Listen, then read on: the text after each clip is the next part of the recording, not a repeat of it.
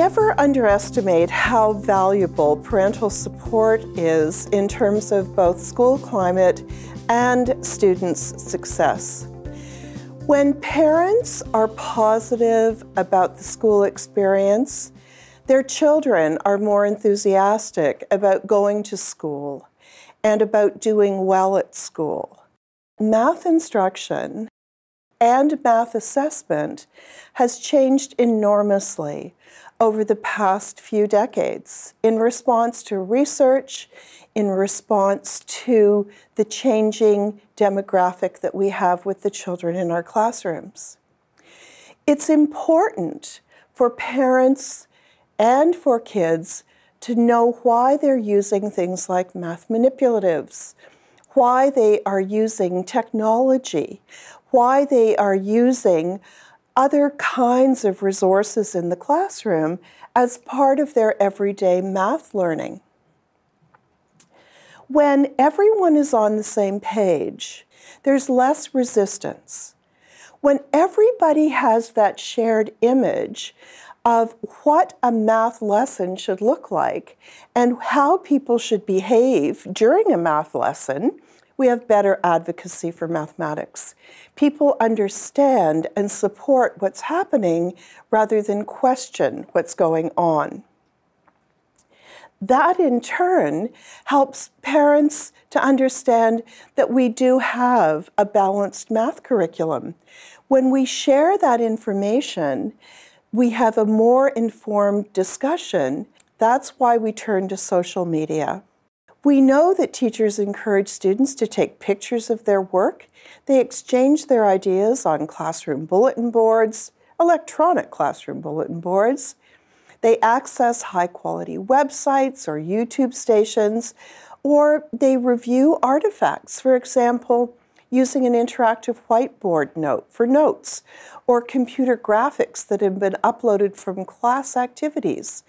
And when these are on shared repositories, Everybody has access to those, and that improves math talk at home. When children are working at home in the evening, doing their math homework, and communicating with the classmate who lives three blocks down the road or in the next town, what that's really happening is to establish relationships of trust between those students. And that kind of trust builds a classroom where learning is going to be much more effective because the students actually are connected in important ways. One of the most important skills that we have for the 21st century, and it has been articulated by many different groups, is that our young people are going to have to be able to work successfully in small groups. Social media helps students to have experience working together, sharing ideas and sharing resources. Families today have incredibly busy schedules.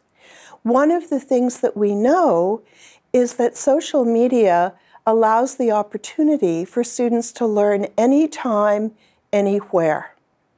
When they have access to classroom notes, when they have access to instructional video, when they have access to individual help from either a teacher, their own teacher, or another teacher, that is very helpful.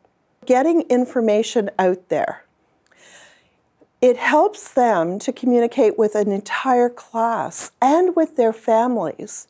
They now are actually communicating regularly and in a meaningful way.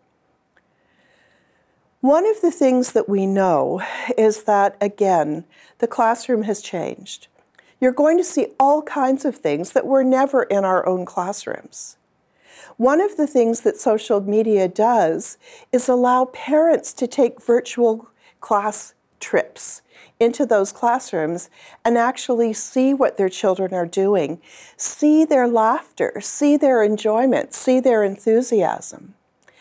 And when that happens, we have a broader shared understanding of why math classrooms look this way and why it's important to make sure that that experience is positive for children.